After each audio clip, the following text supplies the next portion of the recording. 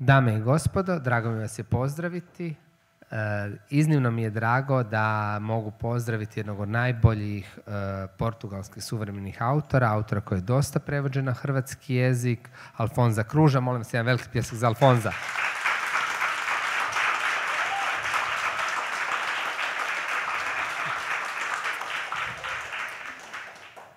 Naravno, njegova dijela ne bismo mogli razumjeti, osim onih koji ne govore portugalski, da nema prevoditelja, stoga bih pozdravio i njegovog prevoditelja Dejana Trdaka koji je ovdje s nama. Molim vas veliki pjesak za Dejana.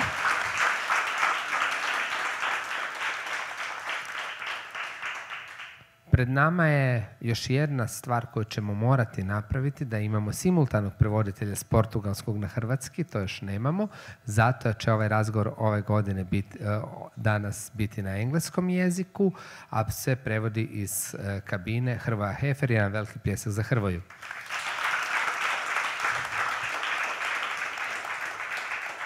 I meni je jako drago da će ovu tribinu razotkrivanje voditi moj kolega nakladnik, e, odličnih e, izdanja e, iz edicija Božičević i Josip Ivanović. Veliki pljesak za Josipa.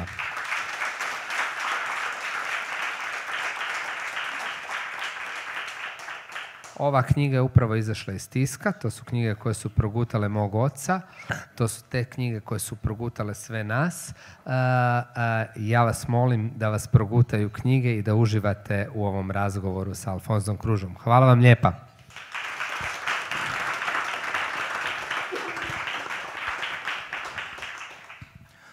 Dobro večer i dobrodošli. Za početak hvala Sibili Sejdu i Frakturi što su još jednom organizirali fantastičan program Festivala svjetske književnosti. Pozvali su zaista neki od najvažnijih suvremenih europskih autora. Zahvalio bih naravno i prevoditeljici Hrvoj Hefer koja će ovaj, prevoditi razgovor za one kojima je engleski straniji. Također, hvala svima vama što ste došli ovaj, vidjeti i poslušati Afonsa Kruža. Ja se nadam da ste ga svi čitali, ako i niste, vjerujem da ćete ga nakon večeras čitati. Radi se o fantastičnom autoru. Dakle, u Hrvatskoj smo ga objavljivali naklada Ljevak i edicije Božićević. Volim reći ja, to je malo ovako preuzetno, ali da, ja sam Josip Ivanović, Afonsov urednik i vlasnik izdavačke kuće edicije Božićević. I da, ovaj, zapravo danas imamo tu knjigu pred sobom, knjige, knjige koje su progutale mog oca. Mm, ja inače ne volim zamarat e, biografijama autora, nekako imam dojam da autori najbolje govore kroz svoje riječi, tako da ovaj, vrlo kratko ću o Afonsu, ne želim ovaj, tu previše. Dakle, radi se o jednom od najzanimljivijih, najplodnijih portugalskih suvremenih autora u 15 godina. Iako je svoj prvi roman objavio relativno kasno, tek 2008. godine, od te 2008. do danas napisao je preko 30 knjiga, čovjek piše sve. Dakle, ja ne znam koji postoji li neki žanr u kojem se on nije okušao. Na engleskoj Wikipediji je označen kao slikar i ilustrator, što jest. Također je glazbenik, ima band The Soaked Lamb, bavi se režijom, a danas sam otkrio i da vari svoju pivu. Dakle, ja ne znam, ovaj, za svoje knjige dobio je cijeli niz nagrada, između ostalog i Europsku nagradu za književnost i zanimljivo je da je zapravo dospio na popis selektira u Portugalu i inozemstvu, a protekla knjiga koju smo objavili, Kupit ćemo pjesnika, završila je u čitankama, profilovim čitankama za srednje škole u Hrvatskoj. tako da, eto, to je Afonso Kruš, pomolim još jedan, još jedan pljesak za njega.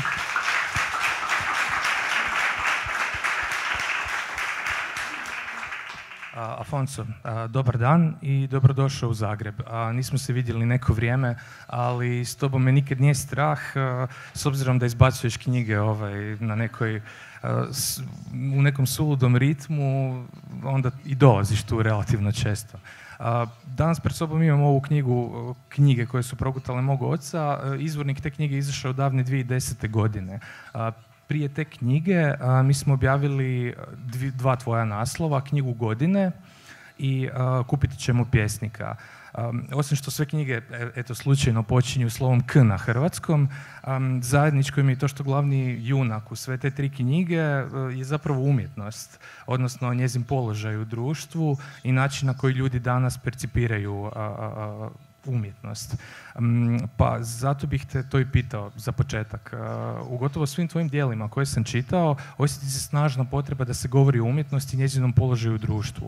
Uh, Kupit ćemo pjesnika, na primjer, je kritika suvremenog konzumerizma i opisuje neku distopiju uh, gdje mm, je kapitalizam zapravo postao toliko dominantan da se sve mjeri. Sve mora biti isključivo izmjereno da bi imalo vrijednost. I u tom svijetu zapravo umjetnost um, gubi gubi svoju poziciju, odnosno postaje manje bitna.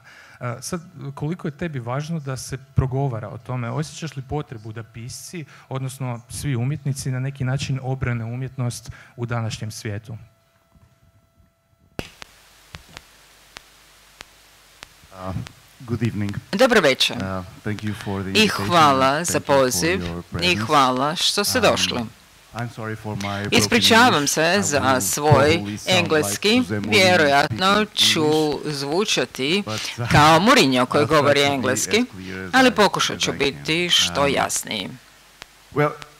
Pa, um, ne bismo trebali u biti, to bi svima trebalo biti jasno, da je umjet iznimno važno u um, našim životima. U biti postoji nešto um, što osjećam da um, uvijek trebamo uvijek uh, iznova govoriti. A to je da uh, fikcija jest važna za nas, jednako je važna kao i uh, istina, kao i povijest, kao i sjećanja i tako dalje. Tako da je to biblijska stvar kada kažemo da će nas istina spasiti, ali istina je i kada kažemo da će vas fikcija, proza spasiti. I ne mislim to kao metaforu, nego to zaista mislim doslovce. Stvar je u tome da, recimo, ako govorimo o tome u knjizi idemo kupiti pjesnika, da smo ovdje ili na nekom drugom mjestu, recimo u džungli, i recimo da se pojavi tigar koji ide prema nama, mogli bismo reći istinu, a to je da evo tu je tigar koji ide prema nama. Ali stvar je da postoji tigar ali u tom slučaju istina nas ne bi spasila, ne bismo znali što učiniti. Jer kada bi se sada tu tigar ušuljao. I to je posao fikcije, da se stvari izmisle, da se izmisle mogućnosti, odnosno mogućnost da će ovdje tigar ući. I onda možemo zamisliti i rješenje za to za tako nešto. Tako da nam je iznimno važno, fikcija, mašta, je važna da nas spasi. I mnogo vremena provodimo u tome tijekom dana. Uvijek zamišljamo stvari, fantaziramo o nekim stvarima. I ona najčudnija stvar s tim u vezi je da ponekad mnogo puta vi zamišljate stvari koje ne možete promijeniti. Recimo, zamišljate što bi se moglo dogoditi um, ili što se moglo dogoditi da ste se drugčije ponašali. Nešto što je u prošlosti, što se ne može promijeniti. Uh, Vaš šef vam nije bio ugodan prema vama. Ili recimo možete si misliti, pa dobro, mogao sam mu drugčije odgovoriti. Ali fikcija je važna za izmišljanje druge budućnosti, boljeg društva, boljeg svijeta. I to možemo vidjeti. Ali zašto mi moramo zamisliti prošlost te vrste, odnosno nešto što bismo mogli promijeniti, a to ne možemo promijeniti? Zato što je to obrat naše budućnosti, odnosno možemo reći da kada zamislimo drugčiji način ponašanja u epizodi koja je u prošlosti, onda bismo u budućnosti da se pojavi slična epizoda toj, sada bismo imali način na koji ćemo odgovoriti na drugčiji način. I zato mi uvijek zamišljamo stvari. Uvijek izmišljamo stvari i mi smo životinje koje izmišljaju stvari, koje izmišljaju sve, sve što je oko nas. To nije prirodno, to je umjetno, sve je umjetno. Jezik je tehnologija koja je umjetna, nije prirodna. Jer ako niste naučili govoriti, nikada ne biste to naučili. Jer da su vas odgojili vukovi, nikada ne biste propričali. Tako da je jezik nešto iznimno važno, a on je umjetan. I ponekad smo skloni vjerovati da sve što je prirodno je stvarno dobro, a sve što je umjetno da je, nije baš dobro. Ali ne, nije tako. Jer e, jezik, stol, čaša, naočale, sve je umjetno. Sve je to izmislio netko. A ta e, invencija, to što su oni otkrili, je, za to je bila potrebna mašta. Tako da je to nešto potrebno nama kao krkim bićima, jer mi zaista jesmo krka bića, slaba bića, slaba vrsta. I ne možemo opstati bez mašta. Jer nemamo oružje za preživljavanje. Moramo ih izgraditi da bismo preživjeli. Odjeću za hladnoću, jer trebamo noževe i vilice da bismo jeli. A ne bismo trebali e, trebati takve stvari za jelo. Ne bi se trebali neke alate ili oruđe za jelo. Ali opet vam trebaju. A ponekad ljudi i filozofi uvijek pokušavaju naći nešto što je drugčije. Jer nastojimo se razlikovati od životinja. I te rečenice uvijek onda započnu sa ljudi su jedina vrsta koja imaju nešto poput ovoga. Imaju svoju svijest, oni su inteligentni, imaju jezik i tako dalje i tako dalje. Ali sve to, odnosno većina toga Sada znamo da i životinje imaju jezik, da imaju svijest, samosvijest da imaju mnogo obilježja, mnogo svojstava za koje smo mi s stoljećima vjerovali da su jedinstvena za našu vrstu, ali nisu. Ali recimo, postoji jedna stvar za koju bismo mogli reći da smo mi jedina životinja koja kuha. I to je stvarno nešto čudesno, jer kuhanje je prekrasno. Jer mi gledamo kuharske emisije i onda ne jedemo tu hranu. I govorimo o hrani i govorimo o hrani i jedemo u restoranima. Govorimo o drugim obrocima, o receptima i zaista je to važno. Jer to je način na koji postajemo ljudsko biće i imamo svoj mozak. Jer kada kuhamo, onda imamo više energije zapravo dobivamo više energije iz hrane i imamo više vremena. Kada imamo vremena, onda imamo i kulturu. I da smo čimpanze i da moramo jesti sirovu hranu, onda bismo proveli život žvakajući. Ali ako kuhamo, onda manje vremena provodimo na žvakanje, a više vremena provodimo na drugim stvarima i možemo razviti kulturu, stvoriti kulturu i to je ono po čemu smo mi ljudi. I stoga je važno, iznimno važno, ponovo, uvijek iznova ispripovijedati ovu priču i reći da je kultura iznimno važna i da je kultura umjetna, da je to nešto što smo mi stvorili, da je to nešto što nas čini ljudima. A ponekad ljudi, a uključujući tu i pisce, kada ih se pita koja je važnost fikcije, oni kažu pa zato što je svijet vrlo okrutan, pa nam treba fikcija kao bijeg i stvarnosti. Ali ne, nije to. I nije samo to. Svakako nam treba fikcija jer moramo stvarati stvari, stvoriti bolje društva, bolji svijet za nas. I to je glavni razlog zašto toliko sati provodimo izmišljajući stvari i zamišljajući stvari, jer mogli bismo samo koristiti svoj mozak, recimo više hrane, da više lovimo, ali to ne činimo. Jer većina vremena i naš mozak je samo 2%, 2,5% našeg tijela, ali 20% naše energije troši mozak. I to je velik trošak za naše tijelo. A stvar je u tome da većinu svog vremena provodimo u fikciji.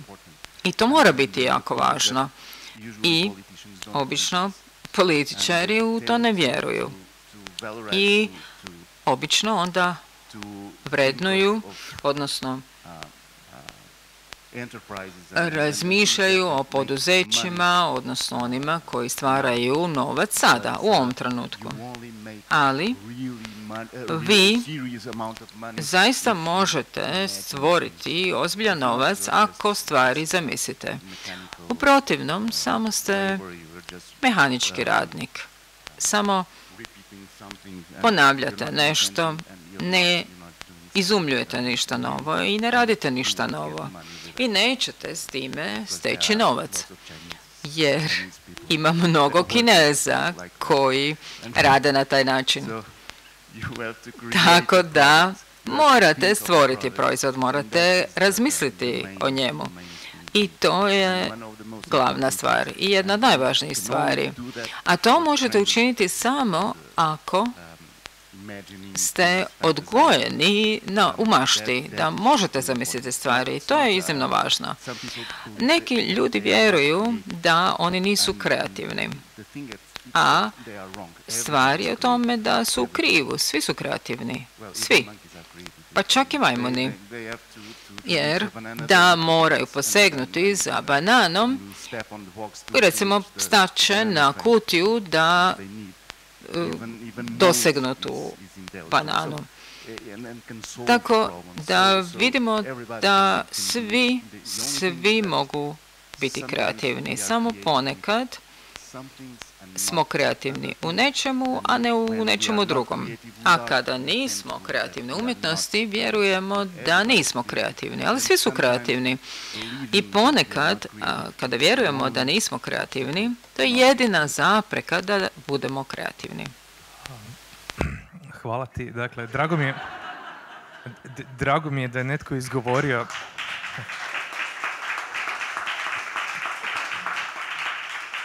A, čuli ste, dakle, da biste zaradili novac, morate biti umjetnici. Ovaj, Točno. Drago mi je ovaj, da si spomenuo kuhanje, ova mala digresija. Zapravo, još jedna tvoja knjiga je trebala izaći prije festivala, ali nije stigla iz tiska. to je knjiga recepata, nazvat ću je tako, kako skuhati dijete. Ovaj. Tako da, da, nisam znao da ti je ovaj, kuhanje jedna od, jer htio sam spomenuti u idućem pitanju da s obzirom da si stvarno multidisciplinarni umjetnik, dakle baviš se svim tim stvarima kojima se baviš ovaj, i kuhanjem, pretpostavljam.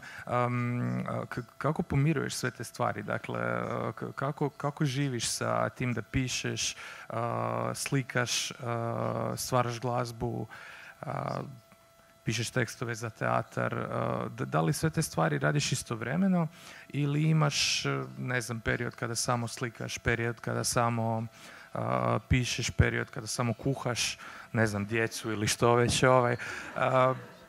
tako da, kako te stvari funkcioniraju, evo piši, ne znam, neke svoje trenutne projekte, kako, to, kako tvoj dan izgleda? Well, yeah, yeah. Pa, everybody, dobro. Svima uh, treba umjetnost. To je polazište. Svima zaista treba umjetnost. Um, ja volim ispričati ovu priču koju sam opisao u jednoj knjizi, a to je Poro knjiga. Bio sam u Tunisu glavnom gradu i šetao sam noću sa nekoliko pisaca. Jedan od njih mi je rekao, ovo je opasan dio glavnog grada. I Rekao sam mu, pa iz iskustva ja obično vjerujem da većina muslimanskih glavnih gradova nisu opasni, da se ne morate bojati, možete vidjeti da žene šeću same po noći. I uvijek sam se osjećao sigurnim u tim gradovima. Dobro, naravno, uvijek ima nešto, ali rekao mi je da, evo, prošli tjedan ja i moj prijatelj bili smo napadnuti opljačkali su nas. Evo, baš ovdje gdje se sada nalazimo. I rekao mi je kako se to dogodilo. Rekao je, pojavila su se dva momka sa noževima i uzeli su nam telefone, nisu bili neki skupi telefoni, i imali smo nekih dvadesetak dolara u džepovima, uzeli su tih 20 dolara, ali moj prijatelj, kada smo stigli doma, moj prijatelj, on je bio glazbenik. I imao je instrument, ne znam kako ga nazvati na engleskom, ali veliki instrument. i ovako izgleda. Lauta. I Rekao je, ah, bio sam vrlo sretan, imao sam sreće, jer lopov nije primijetio da sam nosio vrlo skup instrument. A taj instrument je vrijedio 3000 dolara. I kada mi je to rekao, rekao sam mu, ne, nisi imao sreće. Lopov je bio neznalica on je, nije imao kulturu, jer da je imao tu kulturu ne bih pljačkao, nego bi bio bankar ili političar. Ali stvar je u tome da ako znate nešto o umjetnosti, onda biste ukrali ovaj instrument koji vrijedi 3000 dolara. Ali ono što on dobio bilo je 20 dolara i dva loša telefona, jer nije znao ništa o kulturi. I stoga ako želite opljačkati na učinkovit način, morate imati kulturu. Ne možete otići u muzej i ukrasti neku sliku. Ne, morate znati koja je najbolja slika, najvrijednija slika u tom muzeju. Morate znati što ćete ukrasti. I stoga ako želite profesionalno ukrasti, morate studirati umjetnost. I morate znati mnogo o kulturi i svemu ostalome. A moj dan, pa ja volim mnogo stvari. Zaista volim mnogo stvari. I nisam želio govoriti o hrani i kuhanju, ali zaista volim kuhati. I radim sve. Recimo, ako moja djeca žele hamburgere, ja im napravim pecivo. Ja napravim sve. I zaista volim kuhati, jer kuhanje je onaj prvi narativ koji imamo. Jer tu su koraci. Počnemo od nečega i onda to nadograđujemo dalje i na kraju to pojedemo. Tako da je slično sa pisanjem i čitanjem. Vrlo slično. Jer recept je narativ. I vjerojatno je to bio i početak književnosti. Narativ je bio kuhanje. I dosta mi se sviđa kuhanje kao što mi se mnogo sviđaju i druge stvari, mnoge druge stvari. Recimo, volim raditi pivo, jer jednom sam pročitao jednu staru knjigu jednog gradovnika, anonimnog gradovnika, koji je rekao da je, ako napravite pivo, ćete razumjeti svijet. To je prirodna filozofija. I to su srednjovjekovni ljudi zvali znanošću, dakle biologija, fizika, to su prirodne znanosti. I ja sam počeo raditi pivo jer sam htio razumjeti zašto on to rekao. Zašto je rekao da možete razumjeti svijet i, i uopće svemir ako napravite pivo. I to je bilo izvanredno iskustvo. Vjerojatno nećete razumjeti svemir, a radeći pivo, ali ćete ga razumjeti pijući ga. Tako da nije to baš bio izgubljen projekt. Ovaj, da imam jedan prijedlog za, dakle, kada poslije ove tribine, kada Afonso bude potpisivao knjige, zamolite ga da umjesto standardne posvete napiše recept. Ovaj. pogotovo ako imate djecu, navodno su odlični. Ovaj. A, mm, da, se, da, se zapravo vratim, odnosno da pređem na malo ozbiljniju temu. htio sam te zapravo pitat i, ranije na pivi, ali eto i sad je dobra prilika. kako vidiš položaj književnosti u Portugalu danas? kako izgleda, kakav je život pisca u Portugalu? Da li pisci žive od pisanja? Čitaju li ljudi više ili manje? Što se događa u Portugalu sa, sa pisanjem? Što se događa sa čitanjem? Vidiš li promjenu u odnosu prema knjizi u posljednjih 15-20 godina? That's a, a difficult question. To je teško pitanje. Um, well, uh, it's, it's hard for, for teško je portugalskim piscima, a teško je i svakom piscu u maloj zemlji da živi od um, tantijema, jer tržište je premaleno za to. I znate da postoji mali postotak uh, ljudi koji su čitatelji, jer naravno ljudi znaju čitati, što je veliki uspjeh ako razmišljate o čovječanstvu. Jer jedno od ljudskih prava je pristup kulturi. I ako ne čitate, onda nemate pristup većini kulture koja nastaje. Iz toga je čitanje vrlo važno. Ali znati čitati nije isto i što i biti čitatelj. Sada sam naučio, odnosno naučio sam čitati kada sam imao šest godina, ali nisam bio čitatelj. Čitatelj je nešto e, što ne možete naučiti, jer to je interpretacija i trebate vječnost da budete bolji tumač onoga što čitate.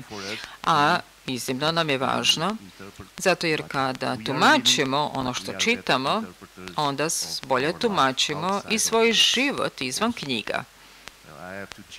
I ja imam dva, dvije kokoške, Olga i Selir. I kada ih pustim svako jutro da se nahrane, pogledaju me, po jednim okom, drugim okom, i one me čitaju. Pokušavaju vidjeti je li ih ja hranim ili ću izgrabiti kao hranu. Tako da i životinje čitaju. One tumače život oko sebe. I mi bismo to trebali također. Jer u protivnom mi samo čitamo doslovno, a to su najgori čitatelji. A um, stvar je u tome da prije par dana bio sam u Portugalu na jednoj tribini, govorili smo o čitanju. Pojavila se jedna nova studija koja kaže da Portugalci sada nešto više čitaju, posebice mlađe naraštaje što se protivi mnogim nastavnicima koji kažu da mladi ne čitaju, da im nije stalo do kulture. I glavna je stvar da mi možemo koristiti neke tehnike i čak i imati neku politiku o knjigama kako bismo angažirali mlade ljude, privukli ih čitanju, ali ne samo mlade. No mi vjerujemo da te mjere su iznimno važne, ali nisu. Ja ne vjerujem u to. Jer kad bi bile važne, onda bismo već imali rješenje da svako postane čitatelj, a to nemamo. I zato imamo polemike oko toga. Uvijek polemiziramo o tome kako možemo više uključiti i natjerati ljude da više čitaju nego što čitaju. I što se događa? Problem nije u našim mjerama i načinu na koji mi gledamo čitanje i knjige, nego se radi o samoj prirodi, o naravi čitanja i o knjigama. U tome leži problem. I problem, tu je i problema je vrlina. Problem je da je čitanje dosadno, zaista je dosadno. I to je problem. Zato polemiziramo o tome. Ne polemiziramo o tome, idemo pokušati natjerati mlade ljude da im se svidi glazba. Moraju više slušati glazbu. Ne, to nije problem. To nije problem. Problem je u čitanju. I problem je u toj aktivnosti. Ta aktivnost je zaista dosadna. Moja djeca, kada su bila mlađa, sad to nije problem, ali kada su bili mlađi, rekli bi, tata, ne znam što bih radio a okruženi su knjigama. Ja bih rekao, pa okruženi ste knjigama, odaberite jednu i čitajte A onda bi oni nekoliko sekundi malo stali i rekli, ali tata nemam šta raditi, jer radije bi umrli, umrli od dosade nego odabrali knjigu. I umrli od dosade čitajući knjigu. Dakle, problem je u tome da je čitanje nedruštvena aktivnost. Naučimo čitati, čitamo potiho za sebe i mi smo izolirani tome. I to je suprotno od, recimo, odlaska na koncert. Ondje skačete, plešete, zaljubljujete se, radite mnoge stvari. A mi smo u grupi. No čitanje je samotna aktivnost to je neka vrsta religioznog ponašanja. Treba vam tišina. A knjige su vrlo ljubomorne. Za razliku od druge um- umjetnosti, možete slušati glazbu i kuhati. Pa i plesati istovremeno. Pa čak i s nekim razgovarati. Ali kada čitate, onda čitate. Knjiga vam ne dopušta da radite bilo što drugo.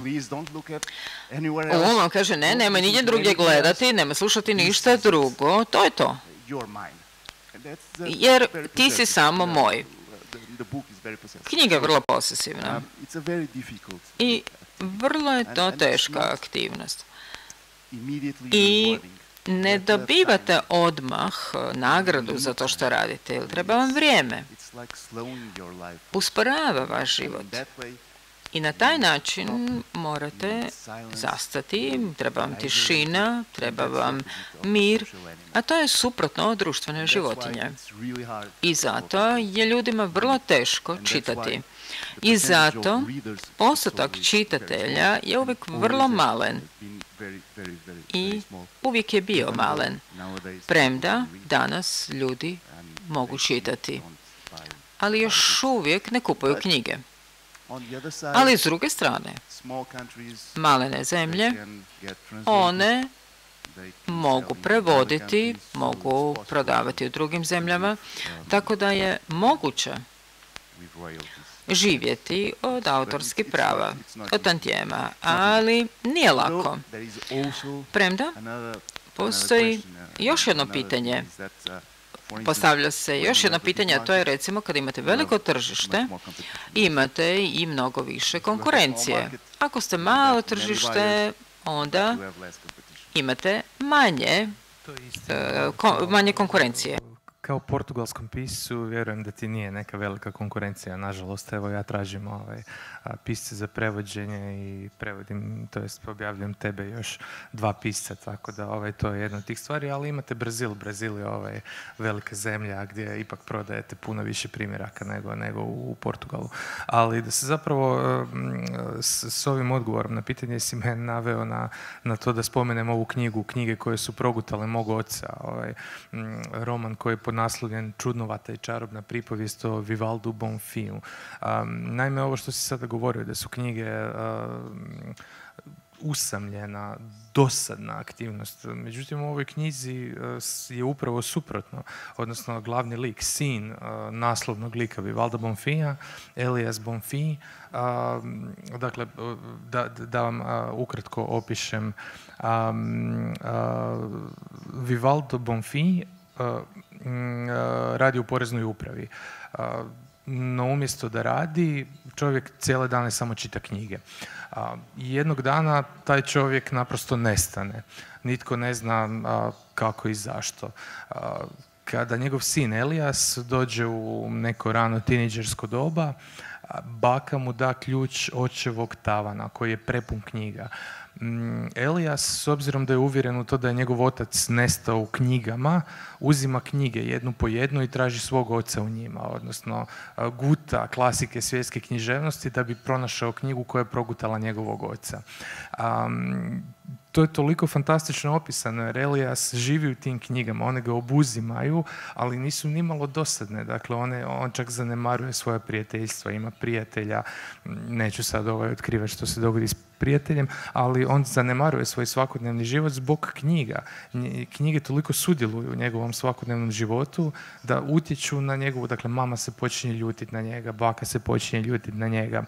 Mm, zato me zapravo zanima kada si pisao ovu knjigu, a to je bilo prije više od deset godina, je li to bio period u kojem si razmišljao upravo o tim pitanjima, o pitanjima što ljude tjera na čitanje i kako možda natjerati svoju djecu da čitaju? Jesi ti razmišljao da se izgubiš u knjigama pa da te djeca traže u njima?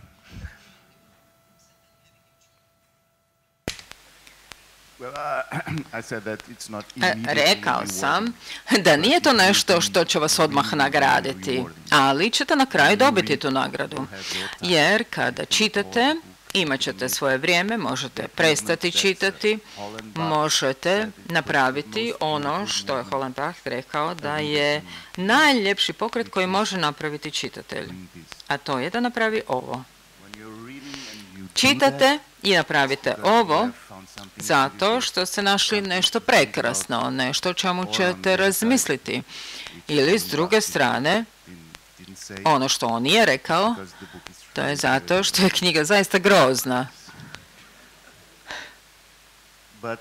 Ali obično može to zaista biti oplemenjujuće, jer će vas natjerati da mislite, da se osvrnete na knjigu, i Kudera je rekao da je to istraživanje postojanja, nešto što se nije dogodilo, ali moglo se dogoditi ili se nije moglo dogoditi, ali to je istraživanje stvari, ponašanja, osjećaja. I to je e, poput e, vježbe za vaše emocije jer nećete možda biti emotivni kada ćete povijesnu knjigu ili znanstvenu knjigu, ali to ćete dobiti sa fikcijom. Plakat ćete. I onda ćete znati i znate da je to fikcija, ali imate ugovor sa autorom i znate da mu vjerujete, on će vas nasmijati, on će vas rasplakati, kao da se radi o istini. I Antonio Vasantes, jedan španjolski pisac, nekoga je pitao, netko ko čita i pita ga Znate da to nije istina. Ali zašto se smijete? Zašto plaćate? A odgovor je zato što ono što ja osjećam je istina. I to bi mogla biti fikcija, ali osjećaj su istiniti. Tako da to zaista plemenjuje, a postaje i mana. To je ta mana knjiga jer kada postanete pisac, vjerojatno nikada nećete prestati biti pisac. Postaćete pisac do kraja. Tako da je to zaista oplemenjujuće, ali ne isprva, jer morate naći knjigu koja vam odgovara, s koju ćete se zaljubiti, zaljubit ćete se u autora. Recimo, moj najstariji sin, Manuel, nije baš često čitao, čitao jednu knjigu, mjesec dana, pa drugu knjigu, još mjesec dana. Nije baš bio oduševljen, nije baš bio sretan sa čitanjem. I onda jedan dan je otišao u knjižaru i kupio je Orwella 1984. i zaljubio se. I to je bio trenutak kada je postao čitatelj. Ja sam postao čitatelj sa 12 godina. Ranije od Manuela, ali nisam imao braće. Moje braće su bile moje um, knjige. I počeo sam čitati poput lika u ove knjizi. Počeo sam čitati očeve knjige, a ne knjige koje su bile na mojim policama, nego knjige koje su bile u očevoj knjižnici. I prva knjiga koju sam odabrao je bila kratka priča Dostojevskog. Zapravo je u knjizi su bile dvije kratke priče, dvije pripovjetke koje je napisao Dostojevski. Priča koja je promijenila moj život je bio san smiješnog čovjeka ili tako nekako bi se moglo prevesti. I kao što sam vam rekao, imao sam 12 godina i volim pričati ovu priču jer sam bio, nisam još bio tinejdžer, hormoni su mi ludovali i upravo sam trebao postati tinejdžer i to ljeto smo otišli na nudističku plažu u Portugalu. I imao sam 12 godina okružen golim ljudima i za... I only had highs for him. And, and that's, that's, that's the power of literature. It can really change your life. And, and I became a writer in that, in that summer. So um, it, can, it can be really, really rewarding. And, and I'm a writer because, I, am uh, because that, that's a consequence of, of being a reader. First of all, I'm, I'm a reader.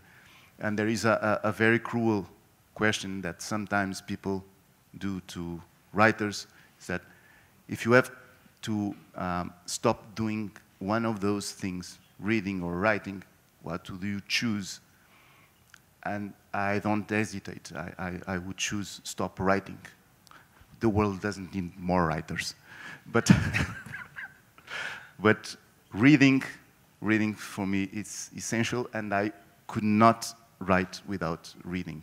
Reading, it's my fuel to fuel to, to, to write, so I need. And that is, uh, I always, always compare uh, writing to, to filling a, a, glass of water. It's like reading, it's a drop of water in that, in that glass. And one day, it will drop out. And that's, that, when that happens, it's writing. Uh, but you have to fill it with reading. Uh.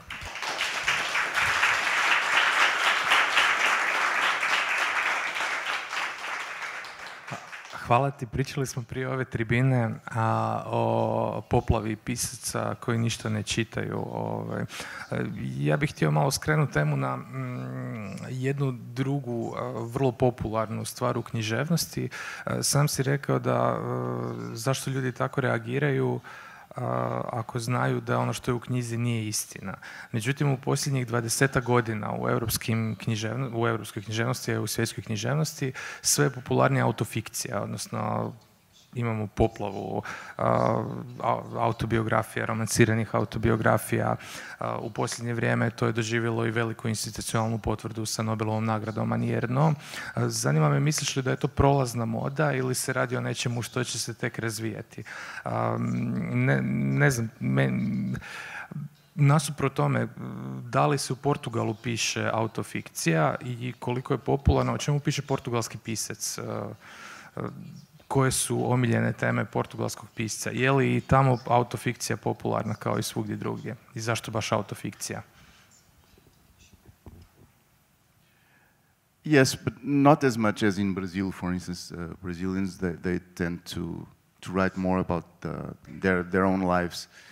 There is also uh, this kind of, of statement or um, um, sometimes people say that if you, if you want to write, write about something you know, writing uh, about something you know about, and, and well, ourselves, it's something we know about. We live with ourselves 24 hours a day, so it's, um, it's probably the, the most handy theme you can, you can have.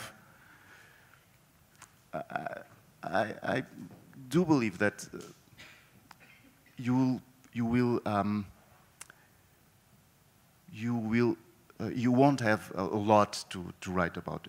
Maybe you have an interesting life and you can write one or two interesting books, but it's, it's probable, probable that you, you won't write a, a third one. Um, sorry, it, but it, it, can happen. Knausgård. Uh, yes, yes, it can happen. But, but it's because it's very boring.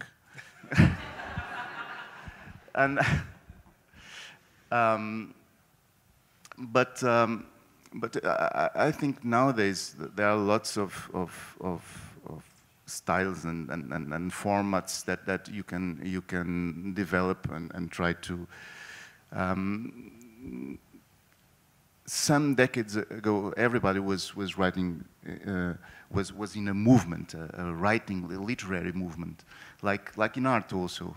Uh, if you were a renaissance paint, painter you would paint renaissance paintings not, not abstract. but nowadays you, you, you have more history. You have more um, channels to, to choose from and ways of writing to choose from. So you can, you can, you can try to, to improvise and, and, and, and, and create other kinds of, of, of writing.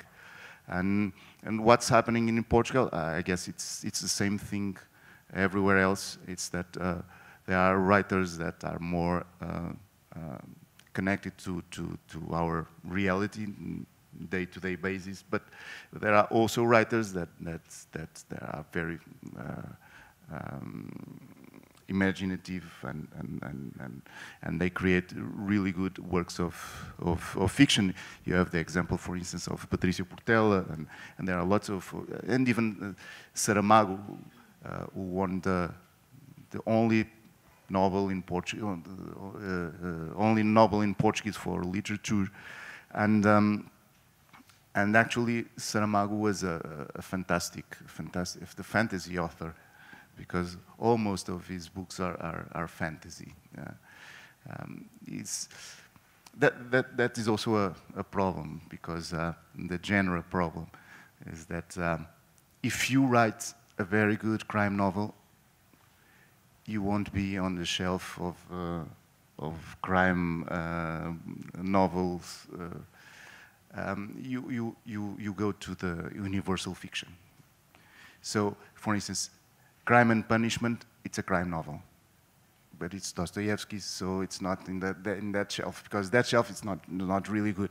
It's like, uh, it's like science fiction. It's not very good. No, it, it is very, every literature can, can, can be good. It doesn't matter about, about genre. Uh, uh, but the thing is that when, when, when you do something really good, you go to another place. But in that place, there are very bad things also. Really, really bad things. Actually, there is a law uh, called the Sturgeon Law. Sturgeon was a, a science fiction writer from the 50s, 60s, 40s, 50s. and um, and Sturgeon um, uh, wrote a book that was um, very famous, that became very famous, and reached the, the mainstream critics. And one of them said that, well, 90% of science fiction, it's crap. And he answered like this, well, 90% of everything we do, it's crap. And that became a law you know the Sturgeon law, it will say that, it will say that most of the things you do, it's crap. That's why you as a writer or uh, whatever profession you, you, most of the things we do, it's crap, and we shouldn't be, be uh, indulgent um, and, and, and save all, everything we do. The, most of the thing we do, it's not, it's worthless. It's that it's, it's not good. So we have to make lots of mistakes, lots of 90% to have 10% of uh, good stuff. Um, well. Hvala ti na odgovoru. Um, slažem se s tobom zapravo. Ovaj, um, htio sam te, s obzirom da nam vrijeme polako curi kraju, htio sam te pitati još nekoliko stvari, ali bojim se da neću stići ovaj, tako da bi se vratio na nešto što je meni osobno zanimljivo. Naime, ti živiš na selu u malom mjestu Alentežu i čini mi se da, ma zapravo od uvijek, ali pogotovo u zadnjih 20-30 godina, se vidi ta snažna tendencija pisaca, umjetnika generalno, da se povlače na selo, da izbjegavaju gradove, da ne znam, u Hrvatskoj sada pisci idu na planine, na otoke, ti festivali su strahovito, sve, sve ih je više, sve su popularniji i tako dalje. Da li to pomaže tvom umjetničkom radu? Kako je došla ta odluka da zapravo grad zamijeniš selom?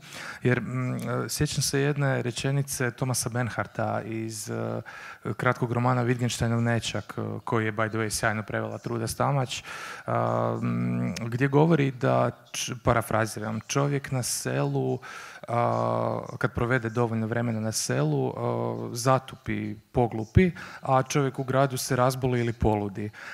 Ima li u tome istine? Probably. It's lots of people ask me because I, I, I became the cliche of the writer because I live in the countryside, in a, isolated in a, in a very traditional house. Uh, and in, in the interior, interior of, of, of Portugal. And, and, um, and there is uh, an interview that, that they used one of my uh, answers as um, uh, the, the bold, the, uh, caption of, of the, the, the, interview. Um, and the, the, phrase was, uh, the, the sentence was something like this. You won't get, you won't be a genius just to, just watching cows and, and, and, and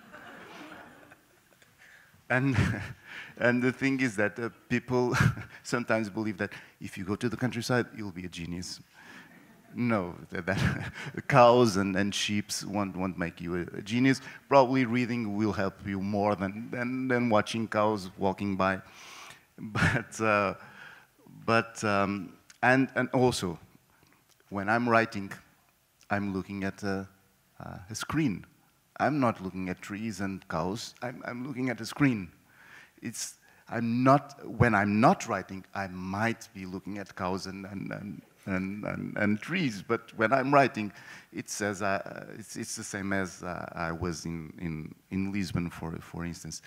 And of course, in, in the city, I have lots of, uh, of cultural offers that I don't have where I live.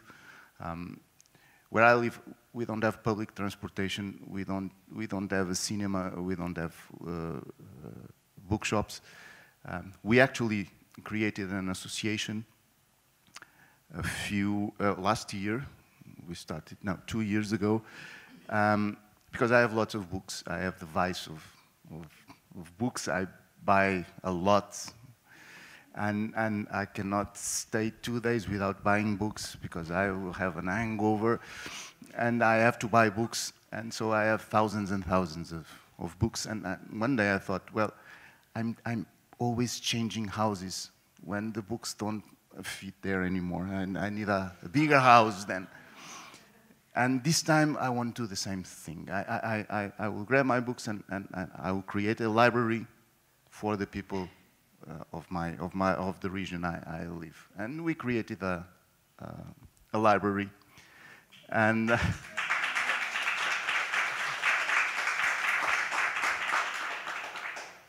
and it's, it's what I'm telling is that uh, you, you, you don't have anything there. Um, so it's, it's, uh, it's the, the, the, the, place in Portugal where, uh, where um, we have more suicidal uh, tendencies and more suicides, uh, usually very tragic ones, um, very dramatic uh, situations.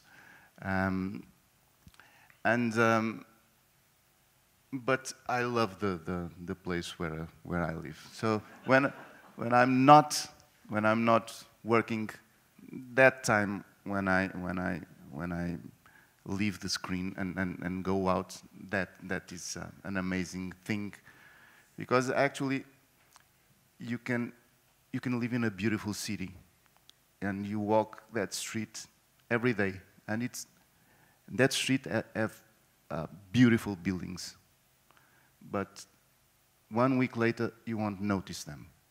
They are the same every day, but not nature. Every day you'll be amazed by nature. And that's, that's, that's a, beautiful, a beautiful thing. It won't make you a writer, but it will make you happier. That's uh, not even making beer will make you a genius.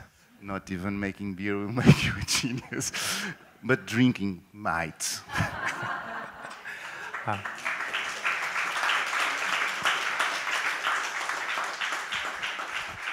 Um, dra, drago, mi je, drago mi je što to čujem jer poslije tribine mi idemo na pivu. Um, dobio sam uputu da moram završiti na vrijeme, a vrijeme nam je upravo prošlo. Uh, tako da, Afonso, hvala ti na razgovoru. Hvala vama što ste došli. Poslije razgovora možete Afonsovu knjigu kupiti i dobiti potpis. Kažem, možda vam napiše i neki recept. I ništa, želim vam svima ugodnu večer. I još jednom, Afonso, hvala. Molim pljesak za Afonso. Thank you. Thank you. Thank you very much.